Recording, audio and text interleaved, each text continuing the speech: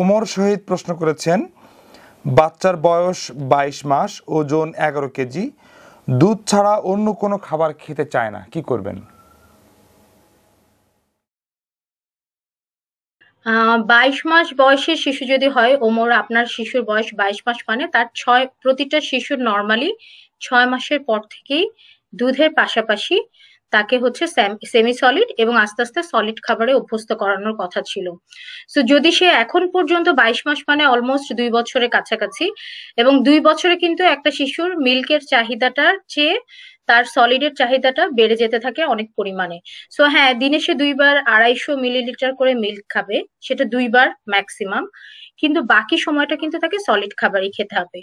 এখন আপনার শিশু যেহেতু খেতে চাচ্ছে না, আমি ধরে নিচ্ছি, আপনি পুরোটা বলেননি, কিন্তু আমি ধরে নিচ্ছি যে তার অভ্যস্ততা হয়তো সেইভাবে তৈরি হয়নি, অথবা আপনি চেষ্টা করলেও, আপনারা চেষ্টা করলেও শিশু গ্রহণ করেনি।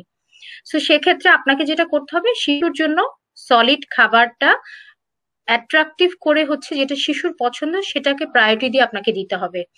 অ্যাজ ওয়েল অ্যাজ তাকে ক্ষুধা লাগাটাকে বুঝতে দিতে হবে। তো ক্ষুধা লাগাটা বুঝতে দেওয়ার মানে এই দুই বছরের শিশুদের আপনি মিনিমাম তিন ঘণ্টার একটা গ্যাপ দেন খাওয়ার। দুই থেকে তিন ঘণ্টা কোনো কোনো শিশুর জন্য এটা ডিপেন্ড করে। যেহেতু আপনার শিশু একদমই সলিড খেতে চাচ্ছে না, তাকে আগে খিদে লাগতে দেন। তো যখনই শিশুটার খিদে লাগবে, সকালে সে একবার ঘুম থেকে ওঠার আগে অথবা সকাল আটটায়, আটটার মধ্যে সে নিশ্চয়ই একবার মিল্ক খেয়ে ফেলল। তারপরে তাকে দশটা, সাড়ে দশটার আগে কোনো খাবার দেবেন না এবং তাকে যে ক্ষুধা লাগার যে অনুভূতিটা সেটা হতে দেন। সেই সময় আপনি মা হিসাবে অথবা বাবা হিসাবে খেয়াল করেন শিশুর পছন্দের খাবার কোনটা। কোন সলিড খাবারটা সে সব, কিছুটা হলেও পছন্দ করে খায়।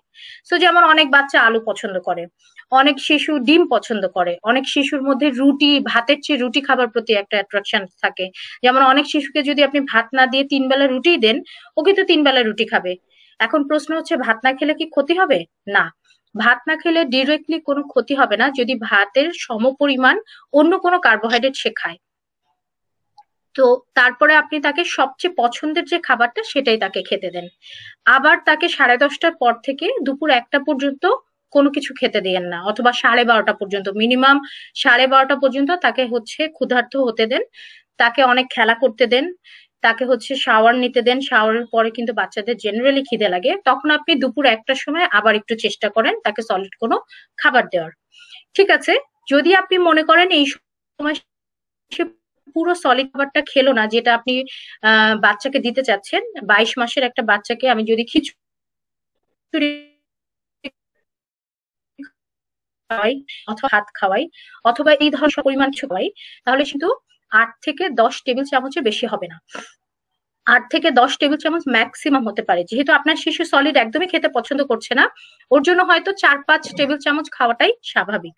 তো আপনি সেইভাবে খেয়াল করে ওকে চার পাঁচ টেবিল চামচ পর্যন্ত ও যদি খায়, আর ওকে খেতে দিয়েন না বা জোর করেন না। আপনাকে খেয়াল করতে হবে, যেহেতু আপনার শিশু সলিড খেতেই চাচ্ছে না, ওর মনে যদি সলিড খাবার নিয়ে কোনো ভীতি আসে, তাহলে সে কিন্তু আরও খাবে না।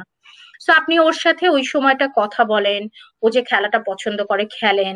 ওর সাথে, ওকে একটু ভুলিয়ে যেটাকে বলে, কিন্তু টিভি বা ট্যাব দেখিয়ে না। আপনি নিজে ওর সাথে অ্যাক্টিভ হয়ে খেলা করে, ওকে বিভিন্ন কাজে ব্যস্ত রেখে কিন্তু আপনি ওকে খাওয়ায় ফেলতে পারেন। সো ওই খাওয়াটা আপনাকে খেয়াল করতে হবে যে জোর না করে যতটুকু বাচ্চা সানন্দে গ্রহণ করে সেটুকু দেন। মা হিসেবে বা বাবা হিসেবে আপনার যদি মনে হয় খাওয়াটা পরিপূর্ণ হয়নি, তখন আপনি কিছু পরিমাণ মিল্ক হয়তো খাওয়ার পরে তাকে দিতে পারেন। সো একইভাবে বিকাল যেহেতু সে মিল্ক পছন্দ করে, তাকে মিল্কের প্রিপারেশনে কোনো ডেজার্ট দেন। তাকে কাস্টার্ড খেতে দেন, তাকে পায়েস তৈরি করে দিতে পারেন। তাকে হচ্ছে আপনি ক্ষীর যেটাকে মিষ্টি দিতে পারেন, কারণ যেহেতু সে দুধ জাতীয় খাবার পছন্দ করে। কিন্তু সেটাকে আপনি অন্যভাবে দিলেন, যেটা সলিড হলো। একই সাথে তাকে ফ্রুট কাস্টার্ড দিলে কিছু ফ্রুটসও খাওয়া হয়ে যায় শিশুর। ফ্রুটস কিন্তু শিশুদের জন্য খাবারের রুচি বাড়ায়। একইভাবে আটটা বা সাড়ে আটটা পর্যন্ত তাকে আবার গ্যাপ দেন, দিয়ে তাকে আবার রাতের যে সলিড খাবারটা ডিনারটা সেটা তাকে দেওয়ার চেষ্টা করেন। সো ধরেন প্রথম দিনই কিন্তু বাচ্চা এই তিন থেকে চারবার সলিড খাবার খেতে চাবে না। আপনাকে যেটা করতে হবে, ধৈর্য সহকারে অপেক্ষা করতে হবে। প্রথম সাত দিন যদি সে একবার আনন্দ করে সলিড খায়, সেটাই আনন্দের। তারপরের এক সপ্তাহ আপনি চেষ্টা করবেন দুইবার করে দেওয়ার। এবং সব শেষে তাকে যে রেগুলার ফুড হ্যাবিট সেটাতে অভ্যস্ত করানোর চেষ্টা করবেন। দুইটা জিনিস খুব মনে রাখার বিষয়, ওমর। সেটা হচ্ছে কোনোভাবেই শিশুর মনে যেন কোনো ভীতি তৈরি না হয় খাদ্য নিয়ে। এবং দ্বিতীয় হচ্ছে, ক্ষুধার অনুভূতিটা হওয়ার পরেই তাকে খেতে দেন। তাহলে কিন্তু শিশু সেই খাবারটা এনজয় করবে।